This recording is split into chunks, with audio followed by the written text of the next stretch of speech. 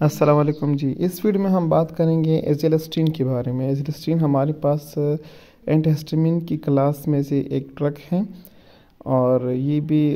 Allergy वगैरह में हम यूज़ यूज़ करते हैं। तो आए इसकी जो मैन स्पेसिफिक यूज़ हैं, उसको देखते हैं। अच्छा इसका फ़र्स्ट नंबर यूज़ हमारे पास है एलर्जिक रेनाइटस सेकेंड नंबर हमारे पास है नेजल पॉलिप्स थर्ड नंबर हमारे पास है एलर्जिक कॉन्जेक्टिवाइटस फोर्थ नंबर हमारे पास है क्रॉनिक अर्टिकीरिया अच्छा एलर्जिक रिनाइटिस में हम इसको यूज़ कैसे करते हैं? Azelastine is commonly prescribe to relieve symptom of allergic rhinitis such as nasal congestion sneezing itching and runny nose and cause by seasonal allergy और है फीवर सही है तो एलर्जी कोई भी uh, किसी भी किस्म की मतलब कोई भी एलर्जिक रेनाइटिस हो जैसे कोई वो नेज़ल कंजेशन हो गया या स्नीजिंग हो गई या इचिंग हो गया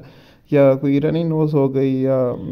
कोई भी सीजनल एलर्जी हो गई जिसकी वजह से ये सारा सब कुछ हो रहा है तो उसी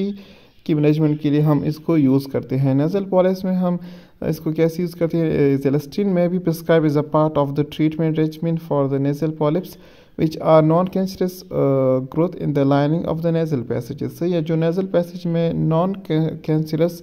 जो ग्रोथ सी होती है, जिसको हम बोलते हैं नोजल सॉरी नेज़ल पॉलिप्स तो उसी की जो ट्रीटमेंट है ये उसमें से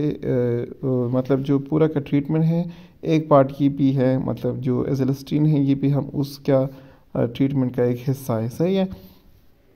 एलर्जिक रिनाइटस में सॉरी एलर्जिक कंजक्टिवाइटिस में हम इसको कैसे यूज़ करते हैं? It is also use to treat allergic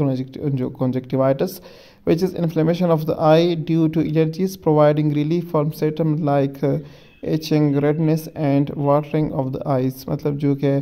कोई भी एलर्जी हो रही हो जैसे कि मतलब एलर्जी कंजक्टिवाइटिस हो गया तो मतलब इन्फ्लेमेशन ऑफ़ द आई हो गई। इन्फ्लेमेशन ऑफ़ द आई किस वजह से होती है? एलर्जी से होती है प्रोवाइडिंग रिलीफ फ्रॉम सिम्टम्स मतलब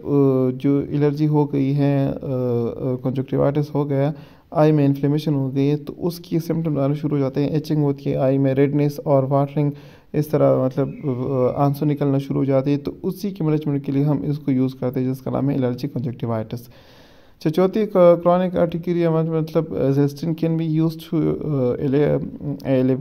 alleviate symptoms of chronic urticaria common in as hives which are red itchy welts on the skin cause by allergic reaction और अदर ट्रिगर्स अच्छा कोई भी चीज़ खाने की वजह से या कोई मेडिसिन लेने की वजह से या किसी मतलब कोई मच्छर ने काट लिया या कोई और चीज़ ने आपकी स्किन को बाइट कर दिया तो उसी की वजह से आपकी बॉडी में एक रिएक्शन हो जाती हैं, जिस रिएक्शन को हम बोलते हैं एलर्जिक रिएक्शन तो उसी एलर्जिक रिएक्शन की वजह से आपकी बॉडी पे एक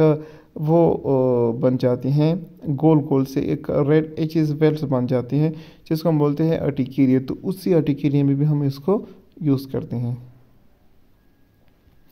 अच्छा इसका जो मैकेनिज्म ऑफ़ एक्शन है histamine work by blocking histamine receptor thereby reducing the effect of histamine in the body